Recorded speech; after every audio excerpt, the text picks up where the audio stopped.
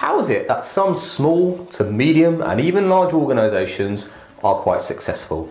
How is it that their board, their directors and senior management alike seem to be able to make quick, prompt and decisive decisions?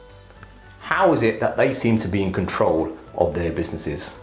Hi, I'm Tony Dangel of iTech Finance and in this video I'm going to explain to you that the fundamental requirement of a robust finance system can help you achieve those very things.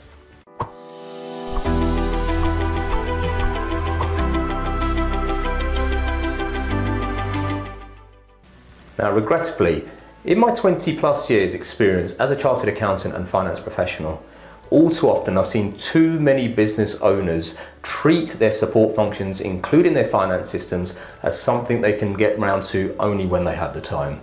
This is fundamentally flawed. You see, one of the key things is your numbers are the foundations of your business. They are the language of business. And if you haven't got any insight or control over your numbers, trust me, your business will lose control. And if it loses control, inevitably it will end up as one of the majority of businesses that unfortunately end up failing. Now, whether you're a new startup, an established business or a growth business, your finance function is absolutely crucial and that is underpinned by the systems, by the processes in order to take numbers and data and translate them into viable information where you as a business owner, the board, the directors or whoever's running the company can actually make informed and powerful decisions, just like those who are very, very successful.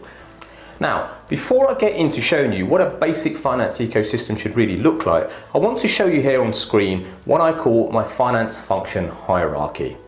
Now the finance function hierarchy is quite important because the way you've got to look at your finance function or provider or system is from the bottom upwards. Once again, quite often I deal with a lot of people that dive right into the sexy stuff that want to talk about tax planning, that want to talk about international tax planning, advanced group structures and those kind of things. And whilst all well and good, you know, that kind of stuff is quite important, it's only really important once your business gets to a certain stage. It's only going to become viable once actually you get to a certain size. Certainly if you're at the new startup or the early stages, it's about building those foundations, fundamental foundations and working your way up. So let's look on the screen here at an app stack, a basic finance ecosystem, certainly where you can start down at the operational level. Now, in the middle of this ecosystem is an accounting software, preferably cloud-based. In fact, not preferably, definitely must be cloud-based. And from our point of view, the ones that we've used so successfully are one of three. That's Xero, QuickBooks or ClearBooks. But if I'm going to be completely honest with you, our number one preference would certainly be Xero. And that sits right in the middle of your app ecosystem. Next up is having a business bank account connected to your company. So if you are running through a limited company, even if it's an LLP or any other kind of form of structure, you will need a business bank account. Now, classic examples in the market today are Tide and Starling. They're very progressive online-based banks. However, in saying that, a like the high street banks, HSBC, NatWest, Santander, they offer a very, very good online service. Now, the ability to be able to connect your banking service to the Xero, QuickBooks or ClearBooks core is very, very essential. Now, when I mean connect, I mean the ability to download read-only bank transactions. If you don't have that, then don't choose the bank.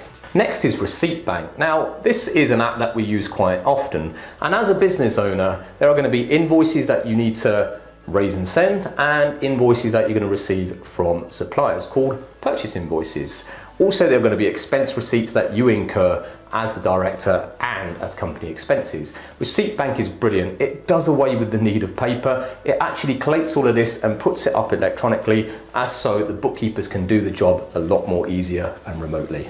Next is a system to run payroll. Certainly if you're uh, a director of a company, you're more than likely going to be paying yourself a salary. If you have employees, then you're going to need a payroll system. And Xero, QuickBooks and ClearBooks is what we would recommend depending on where your core is. I would mirror that because they offer excellent payroll services too. Thereafter, what you're going to be needing is a payment system. Certainly if you're in the technology industry, you don't want to be receiving or sending checks. Now, I know that's a bit outdated, but believe me, I have seen businesses do that.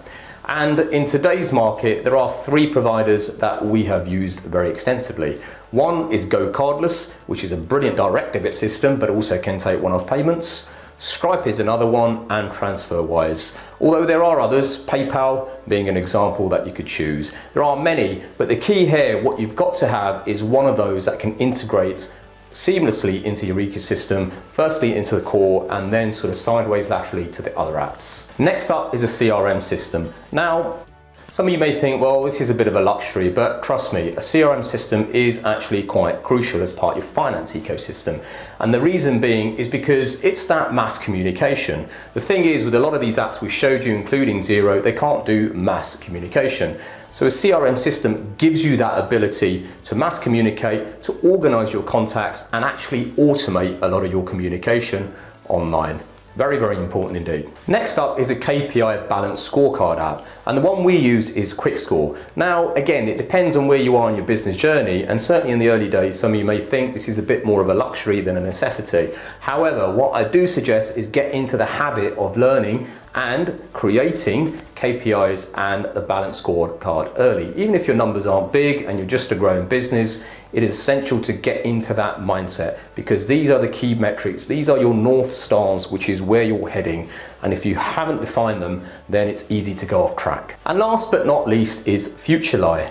Futrli is an excellent system. It's something that we've used quite a lot now and it really gives you that depth of reporting. So where I look in the hierarchy at an operational transactional level, you may just be able to get away with Xero QuickBooks or ClearBooks dashboards in the early stages. But as your business goes on and you need to get into advanced reporting, Futrli is definitely what you're going to need. And that's certainly part of a system that we use and we could even implement for your business. And lastly, the importance of this whole ecosystem is that it's interconnected, that it communicates with each other, that there is as little manual intervention between the apps as possible. And it's very, very straightforward to develop that. All you need to do is API things and some integrate seamlessly with others, which is why we've developed this ecosystem because it's almost like a seamless integration. The developers have already done the hard work. All you have to do is click a couple of buttons. However, in saying that, doing API links isn't particularly difficult. So make sure they all talk to each other and make sure your ecosystem is running as soundly and as efficiently as possible.